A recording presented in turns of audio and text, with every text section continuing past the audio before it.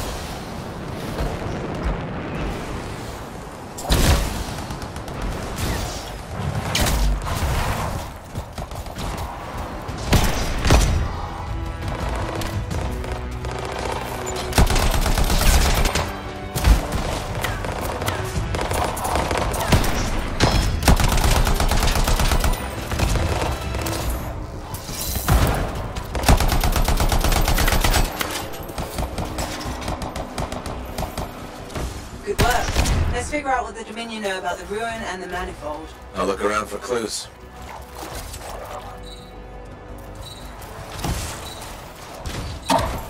We found some kind of voice recording. Forced entry with a version of the monitor's device. One viewer entered vault before door shut itself. Commanded to hold until a sweep is completed. Both signets for the device were returned to camps for safekeeping. The scout succumbed to injury on the way out. We left her. We have not heard from the trooper inside the ruin. Two special Dominion signets then. That's what we need. I'll send you the location of nearby Dominion camps.